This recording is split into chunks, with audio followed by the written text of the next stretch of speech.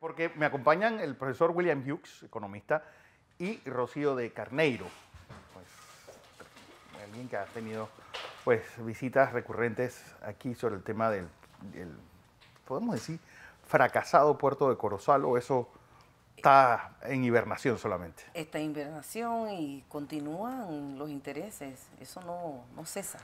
Porque yo creo que la depredación que está habiendo sobre las las llamadas áreas revertidas, pues tienen un, a pesar de que no se parezca, tienen un, libreto.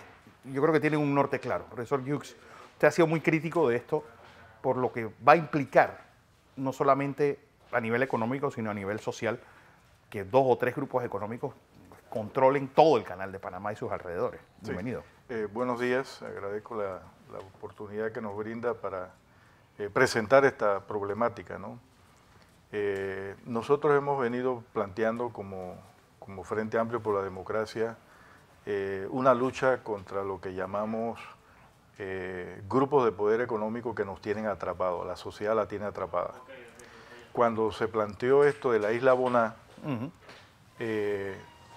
procedimos a, a, explorar qué era lo que estaba ocurriendo. detrás de todo esto? Y lo que detectamos es que hay un proyecto que se denomina un un hub logístico de distribución de combustible que incluye tres islas.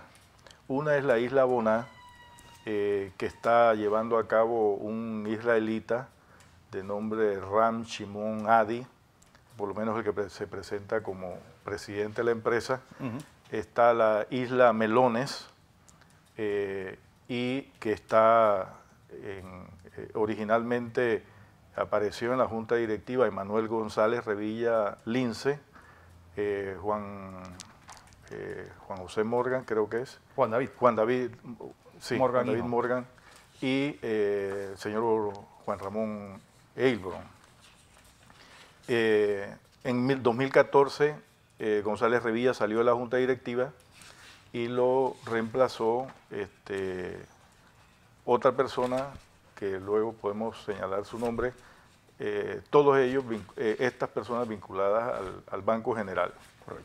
Entonces, eh, y la tercera isla, Isla Taboguilla. De Cal. De, de Cal, ¿verdad? Entonces, lo que nosotros planteamos como idea es que nosotros nos damos cuenta, la sociedad nos, nos damos cuenta de qué es lo que está pasando cuando se presentan conflictos de intereses nos damos cuenta de Boná y lo que nosotros pensamos que podría estar ocurriendo es que se está frente a un competidor que otros sectores no quieren, eh, no quieren que entre. Nosotros nos dimos cuenta del, del debate que hubo de las dos plantas de gas en Colón, precisamente también porque dos grupos, económicos, dos grupos económicos allí se confrontaron. Entonces, lo que nosotros estamos planteando como FAT es que nosotros estamos desarrollando un proyecto económico, eh, un proyecto de crecimiento económico profundamente depredador, eh, donde se hace negocio a cualquier costo. Y nosotros vemos las, las tucas que se sacan de Darién, eh, lo que está ocurriendo con la Omar Torrijos, la, destrucción en el área de Omar Torrijos, vemos el tema de la destrucción en la mina minera Panamá, minera Petaquilla, eh, minera Santa Rosa. Es decir, hay una, una, una acción eh, premeditada desde nuestro punto de vista de llevar adelante un estilo de crecimiento económico que nos está eh, cada vez más sumergiendo en una carrera sin regreso. A nivel mundial estamos en una, en una seria amenaza con el cambio climático y que nuestros países no toman acciones al respecto.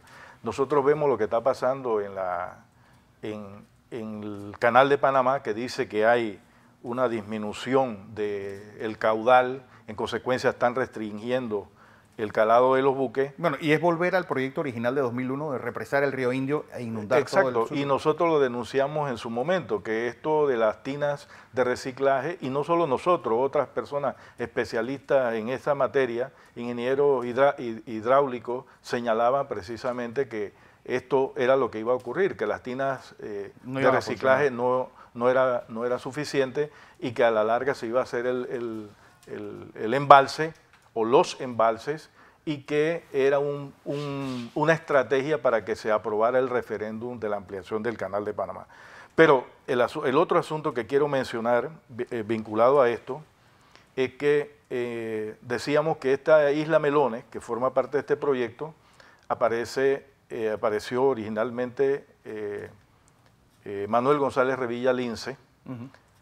ahora se presenta a Manuel González Revilla Lince para que se ratifique como miembro de la Junta Directiva, Junta Directiva del ACP. y habría que añadir a esto otra persona que es Rafael Pirro Esteves. Rafael Pirro Esteves era el gerente general y vicepresidente ejecutivo de Isla Melones, del proyecto Isla Melones, eh, vinculado a Emanuel González Revilla y Heilbron y, Morgan.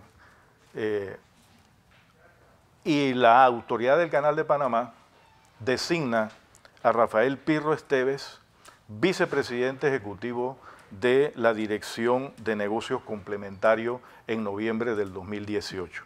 Entonces, lo que nosotros decimos es, y lo que llamamos la atención a la ciudadanía, y eso es una, una política que el Frente Amplio por la Democracia se ha planteado. Nosotros tenemos que luchar con grupos de poder económico que nos atrapan, nos tienen atrapado a la sociedad.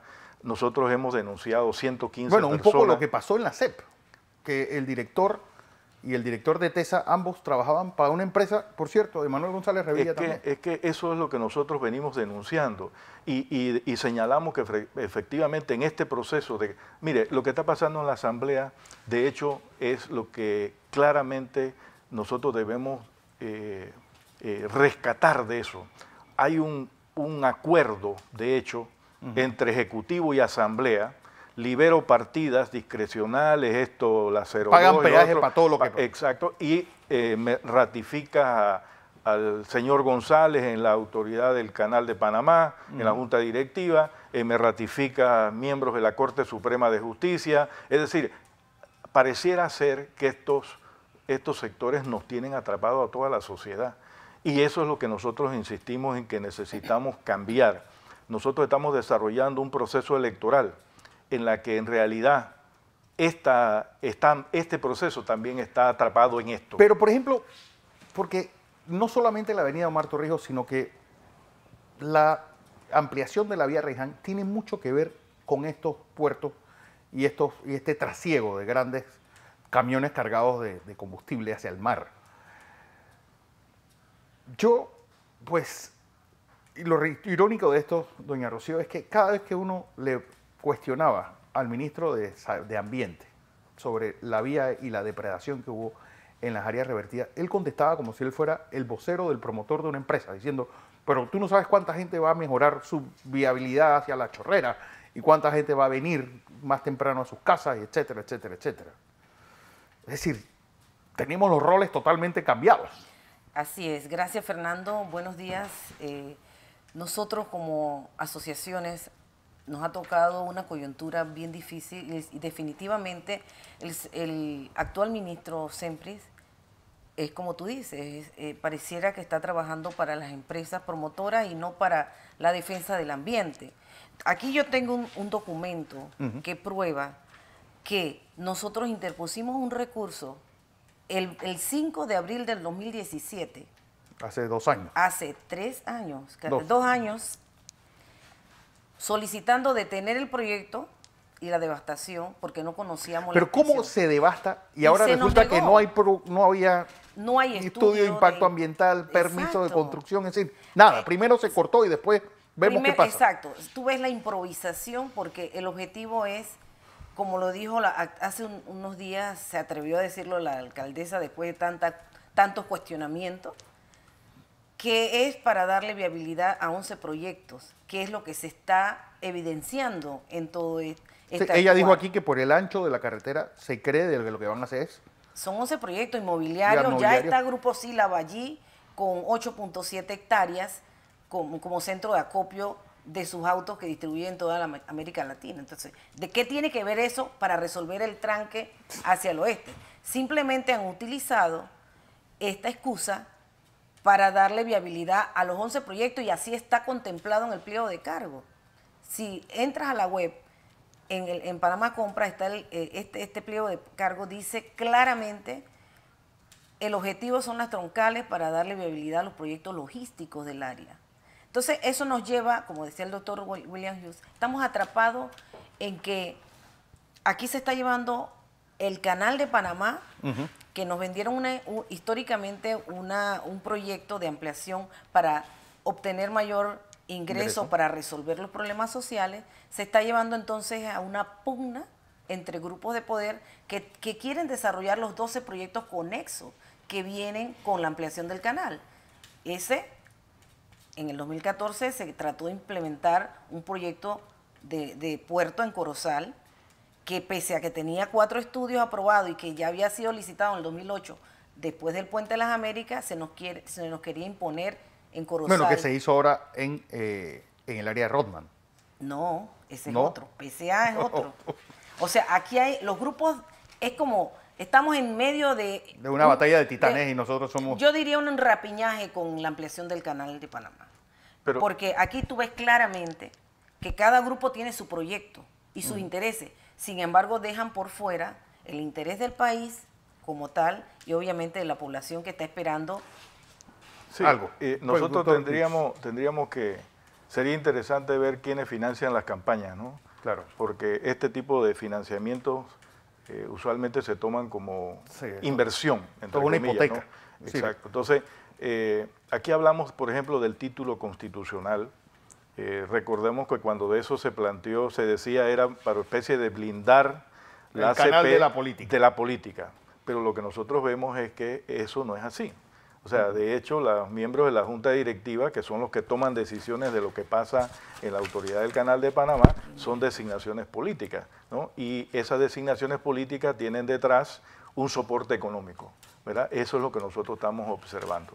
Eh, hace poco salió una noticia de, de, uno de los miembros de la Junta Directiva con 60 hectáreas en la área, en las áreas eh, y además de... El caso de Alberto Vallarino, es lo que está Exactamente. Usted enseñando en... Eh, Exacto, pero eso lo que demuestra es que nosotros tenemos que estar luchando, debemos luchar como sociedad eh, contra esa práctica que de hecho es una práctica de corrupción. Y no estamos hablando aquí de pequeños y medianos empresarios. estamos hablando de, de, estos grandes grupos de poder que en realidad nos tienen atrapados, pequeños, medianos productores, eh, consumidores, trabajadores. Nosotros somos los que estamos atrapados entre esas pugnas y eh, los, candidatos a presidentes y demás, en tanto que reciben financiamiento o potencialmente son receptores de esos tipos de financiamiento, entonces eh, terminan respondiendo a estos grupos de poder económico. Y esa lógica es la que nosotros tenemos que cambiar. Okay. Hay, una cosita que quiero aportar. Nos preocupa mucho hoy lo que suceda en la Comisión de credenciales, donde se pretende ratificar al señor Emanuel González Revilla como nuevo miembro de la Junta Directiva y a la señora Saimalo. Ellos representan claramente un grupo de poder y de intereses dentro del canal, lo cual riñe con la titularidad constitucional que tanto defiende la autoridad del canal de Panamá la tenemos, tenemos que enfocarnos en que hay que rescatar el canal de la politiquería y del rapiñaje económico. Así es. Gracias, profesor Hughes. Rocío.